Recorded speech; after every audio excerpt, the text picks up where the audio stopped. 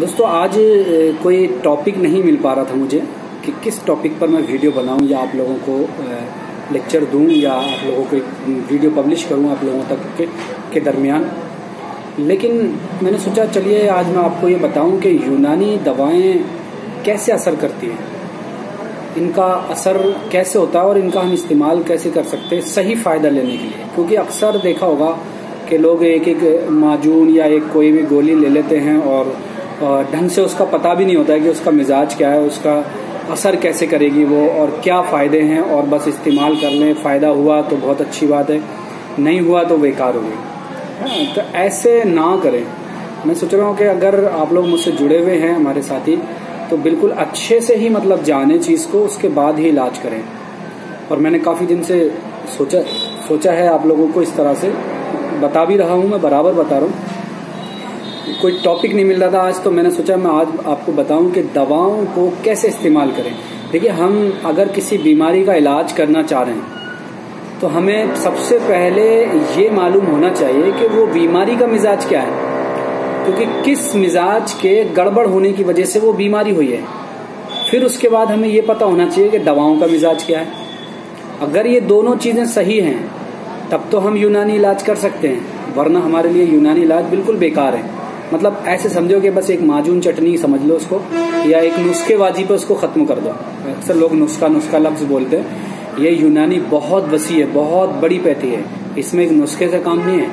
इसमें हर बीमारी का इलाज है। आप बीमारी को समझें अगर ना, मिजाज के अकॉर्डिंग अखलाक, इखलाक के अकॉर्डिंग अगर ये आप समझ जाते हैं, तब यूनानी से इलाज करना बहुत आसान होता है और बड़ा, हर लाइलाज बीमारियों का इलाज होता है। जो किताबों में पुरानी किताबों में जिन बीमारियों का ज़िक्र नहीं है आज के जमाने के हिसाब से, क्योंकि आज के दौर में नई नई बीमारियाँ आ रही हैं, लेकिन अगर उन किताबों में ये ज़रूर बताया गया कि फला मिजाज को कंट्रोल करने के लिए इस मिजाज की दवाएँ इस्तेमाल करें, या अगर इस कोई भी बॉडी का मिजाज गड़बड़ हुआ है तो हम कौन सी मिजाज की दवाएँ इस्तेमाल करें ताकि उस गड़बड़ बॉडी को मतलब उस मिजाज के जो चेंजेस हुए हैं, या कमी आई है, या तब्दीली हुई है, उसको हम कैसे नॉर्मल करें? ये चीज़ें सारी बताई यूनानी किताबों में। तो इसके अकॉर्डिंग हम नई हो या पुरानी बीमारी हो, हम उसमें इलाज कर सकते जैसे आजकल वायरस चल रहा है।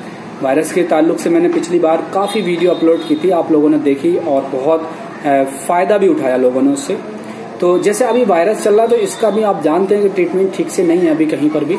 लेकिन क्या है कि अगर हम समझ जाएँ कि इसका मिजाज क्या है, अगर कोई वायरल इन्फेक्शन हुआ है तो अगर हमें पता लग जाए कि इसका मिजाज क्या है तो हम अकॉर्डिंग मिजाज उसके हिसाब से दवाएँ इस्तेमाल कर सकते हैं। जैसे कोई भी वायरस है या कोई भी वायरल इन्फेक्शन है, मानो हमें ये पता लग जाए कि गर्म मिजाज की वजह से हुआ है। बॉडी में गर्मी पैदा हुई, यानी कि इन्फ्लामेशन हुआ तो ज़ाहिर सी बात है वहाँ गर्मी पैदा हुई। तो ऐसी कंडीशन में हम क्या करें कि हम यूनानी दवाओं से इलाज कर सकते हैं, जबकि हमें मालूम है कि इस बीमारी का भी इलाज नहीं आया।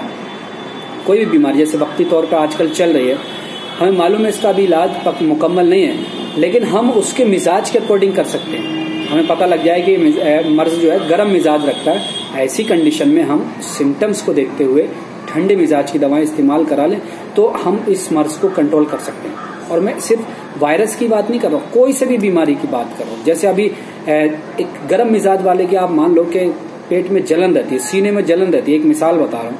है ना एसिडिटी की शिकायत रहती है। तो अब हमें ऐसी कंडीशन में क्या होना चाहिए? हमें ये पता होना चाहिए कि इसका मिजाज वाकई में गर्म है। गर्म मतलब सफरा भी है या दम भी है। ये मिजाज जो है ना, आप मेरी पुरानी वीडियो देखेंगे तो आपको वहाँ समझ में आएगा कि क्या चीज़ होती है मिजाज।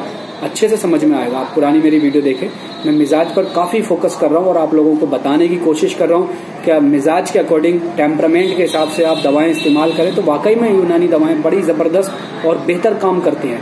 तो जैसे अभी मैंने बताया कि एसिडिटी की शिकायत है जलन हो रही है सीने में, घबराहट, बेचैनी, सर में दर्द, अगर इस और चिड़चिड़ापन, गुस्सा बहुत ज़्यादा आना, ये सब क्या है? ये गर्म मिजाज वालों की पहचान होती है। तो ऐसी कंडीशन में हमें क्या करना है?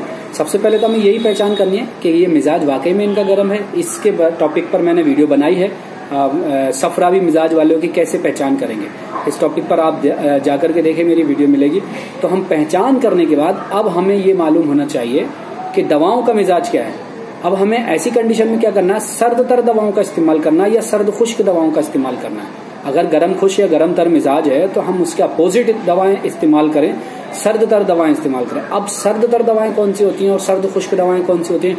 हमें यह भी मालूम होना चाहिए, क्योंकि एक दो दवा तो है नहीं, कि हम उसका नाम याद कर लेंगे या रट लेंगे। हमें सैकड़ों, हज़ारों दवाएँ, सबका मिजाज मालूम होना चाहिए। तभी मज़ा आएगा यूनानी इलाज करने में। अगर ऐसा नहीं कर पाते ना तो फिर एक समझे तुक्का हो जाएगा कि बस किसी ने आके बताया कि पेट में दर्द हो रहा है और हमने लिया और माजून उठा के या कोई शरबत उठा के या कोई चटनी उठा के या कोई टैबलेट उठा के दे दी। ऐसा नहीं है। ये सब गलत हो जाएगा। इससे बदनामी होती है। बदनामी का मतलब इससे यह है कि भाई हमने फला जगह से यूनानी दवा की और उससे कोई फ़ायदा नहीं हुआ। फ़ायदा होगा कहाँ से? जब तक हम मर्ज को पहचान ही नहीं पाए। हमने क्या किया? साफ़ पेट में दर्द हो रहा है या सीने में दर्द हो रहा है। लिया, कोई खमीरा उठा कर दे दिया तो ऐसा नहीं है। हमें पहले मर्ज की कंडीशन जानना है, कैफियत जानना है, हालत जानना है, मिजाज जानना है कि आखिर पेट में दर्द हुआ तो किस वजह से हुआ? क्या एसिडिटी बढ़ी या कोई इन्फेक्शन हुआ है? मतलब कोई स्वेलिंग वगैरह हुई है, वरम पैदा हुआ है? तो अगर ऐसा हुआ, हमें ये सब जानने के बाद तब ही हम अपने यूनानी दवाओं को लिखें या यूनानी दवाओं को दें। अगर हम ऐसा करते हैं, तब जाकर के वही दवा बेहतर से बेहतर काम करेगी।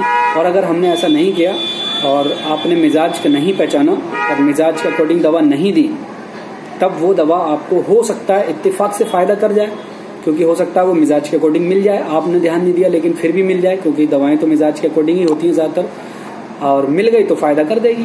और अगर नहीं मिली तो वो दवा हालाँकि नुकसान नहीं करेगी, लेकिन फ़ायदा भी नहीं करेगी। ये सबसे बड़ा फ़ायदा यह है कि यूनानी दवाएँ बहुत कम नुकसान करती हैं। तो अगर उल्टी सीधी भी लोग दवा दे देते हैं उठा के तो उससे क्या है, नुकसान नहीं होता तो इसलिए कोई टेंशन नहीं होती। फ़ायदा नहीं हुआ तो बदनामी हो गई, क्या साहब हमने यूनानी दवा इस्तेमाल की, लेकिन उससे कोई फ़ायदा नहीं हुआ बात खराब खराब हो गई। तो ऐसी कंडीशन में हमें सबसे बेहतर ये चाहिए कि हम पहले मर्ज को पहचाने, मिजाज को पहचाने, दवाओं के मिजाज को पहचाने।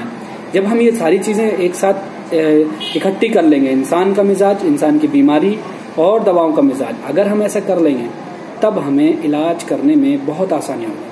मैंने ये आजमाया कि अगर हमने मिजाज के अकॉर्डिंग मिजाज पहचान लिया और उसके अकॉर्डिंग हमने दवा दे दी तो पहली खुराक में भी फ़ायदा कर जाती है। कहते हैं लोग, यूनानी दवा बहुत देर से असर करती है। ऐसा नहीं है।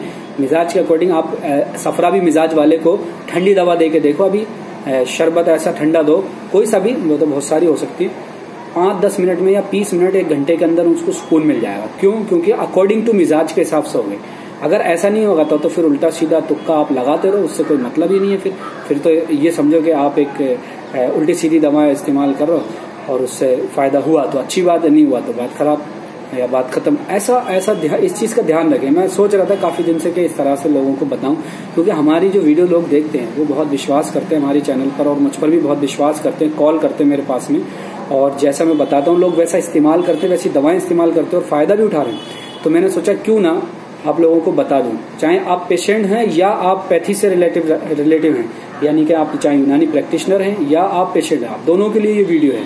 तो इस चीज़ का ध्यान रखें कि है ना मतलब मिजाज के अकॉर्डिंग ही दवाओं का इस्तेमाल करें। मर्ज को बिना पहचाने कोई ऐसी दवा ना दें जिससे बात खराब हो, यूनानी बदनाम हो, क्योंकि ऐसा बहुत होता है। चलिए आज के लिए इतना ही, क्योंकि ऐसे तो बहुत बड़ा लेक्चर हो जाएगा, मैं तो शाम तक बोलता रहूँगा। आज के लिए इतना ही। अगर अच्छी लगी वीडियो तो लाइक करें कमेंट्स करके ज़रूर बताएँ कैसी लगी। शेयर करें, मिलते हैं फिर किसी